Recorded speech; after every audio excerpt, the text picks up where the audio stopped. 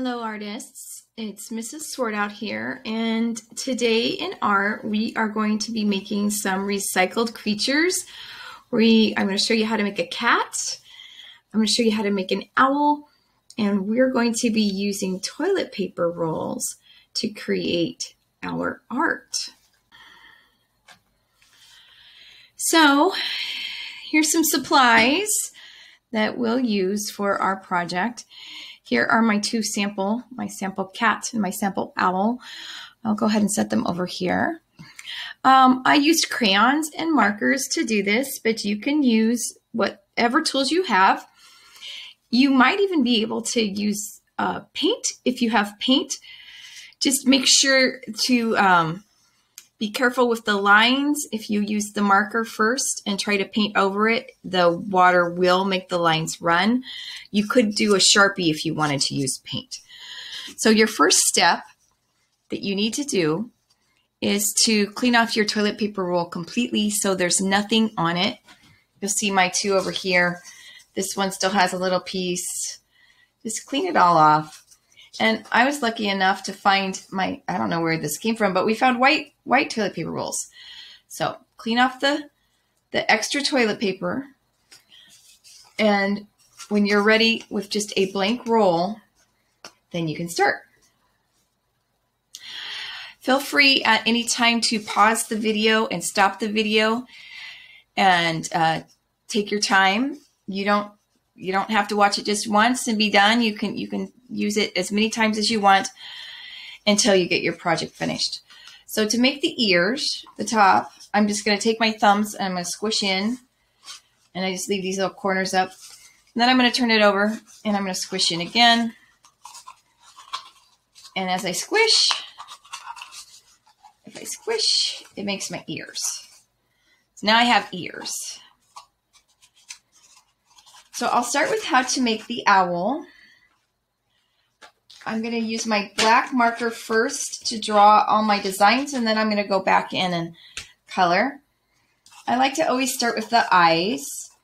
Owls have big round eyes. So I'm going to make a circle and then another circle in the middle. And then I'm going to make another circle here that matches this circle and another circle in the middle. The beak for an owl is just the bottom part of a triangle. You can even make the top part if you want. And then I put two little dots there. That's kind of the nose holes for the owl. Now I'm going to turn my um, toilet paper roll over a little bit and I'm going to just do scalloped lines that that are for the wings. And then my wing comes back up like that. See? And then I'm going to go ahead into the other side and I'm going to do scalloped lines. And then back. Now for his feathers, or her feathers, I'm going to use more scalloped lines. Scalloped lines are lines that go round, pointy, round, pointy, round, pointy, round, pointy. And I didn't put feet on that one, but I think on this one, I'm going to put some feet.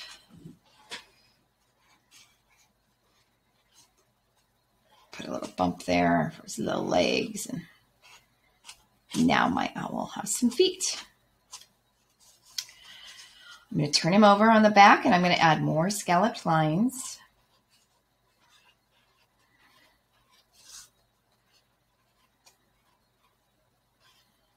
And it doesn't need to be perfect. Just have fun. Now that I'm done with my marker, I'm ready to start adding color. I'm going to put my lid on. I'm going to listen for that click. And I'm going to use crayons. Crayons, they are opaque, which means they um, make a line that you can't see through, like an ink line you can normally see through. So they're really good for coloring over the top of things. There we go. And you can color your owls any colors you want. In fact, I think for this one, I know I started with orange, but I think I'm going to think a little differently. And I'm going to use my favorite color, which is purple.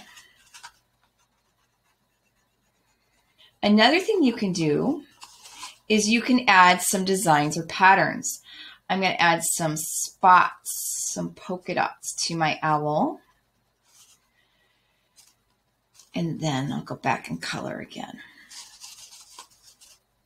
My purple spots. You feel free to use whatever colors you like. I think I will use pink. Color right over the top of that wing. Right up to his little ear.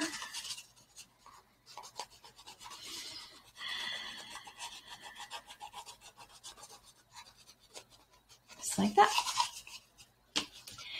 And then I'm going to go ahead and color his back. It is kind of tricky to color on something that isn't flat. So if it's not perfect, please, that's okay. Don't worry. Remember, art is supposed to be fun. It doesn't need to be perfect. So almost done. And there is my little owl. Okay, I'm going to put him over here. And then I'm going to show you how to do the cat. The cat I made first, I made it a calico cat because my cat is a calico cat.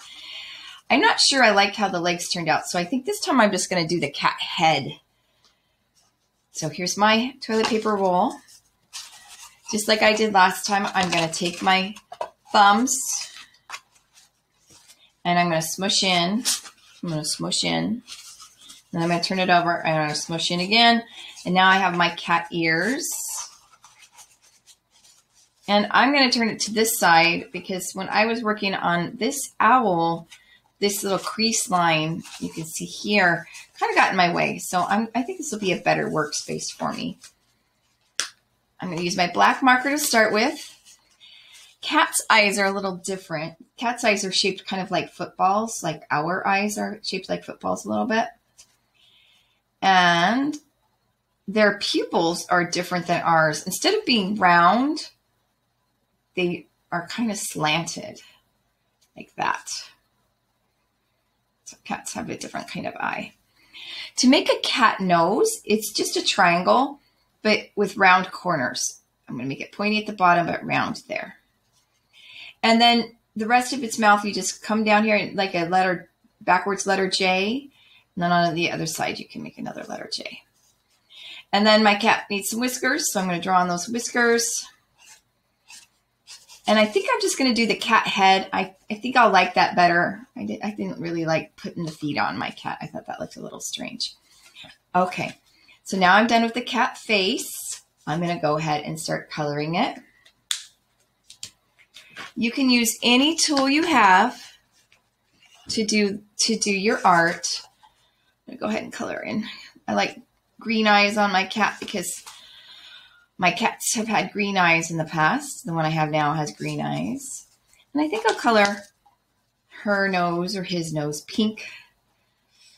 And then I can decide what my cat's going to look like. Can I make it a normal cat? Or maybe I can make it a stripy cat?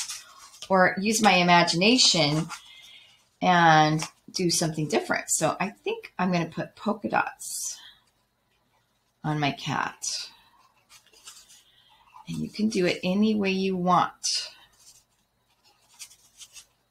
Maybe back here I'll put some stripes.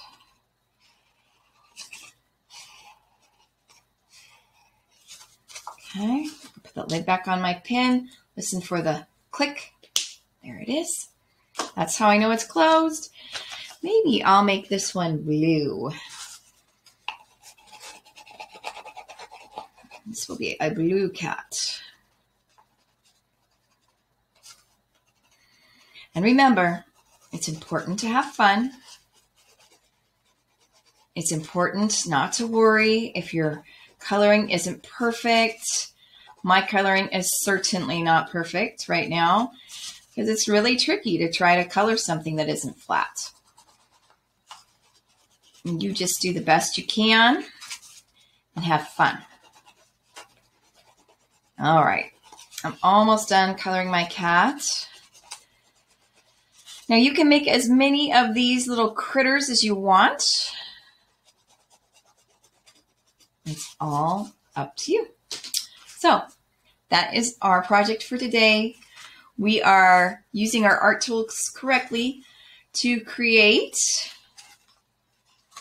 owls and kittens out of toilet paper rolls. All right, my friends, thank you for joining me today. I look forward to seeing you again soon. Have fun. I'll see you next time.